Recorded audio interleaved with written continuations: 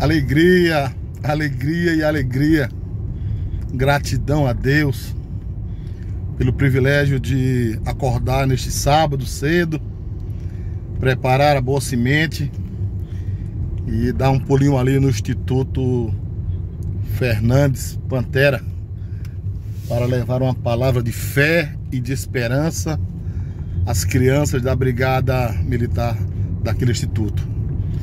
É um privilégio ser um dispenseiro na obra do Senhor Jesus Cristo. É um privilégio ser testemunha. Afinal de contas, fui resgatado pela boa palavra de Deus com o propósito de ser um dispenseiro desta palavra. E a alegria e gratidão é aquilo que a gente pode expressar nessa manhã e compartilhando com você para a glória de Deus. Amém?